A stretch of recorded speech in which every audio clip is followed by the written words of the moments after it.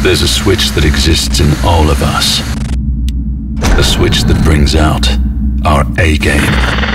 That makes us lead the chase. That makes us ride the wave. Wake up. Switch on.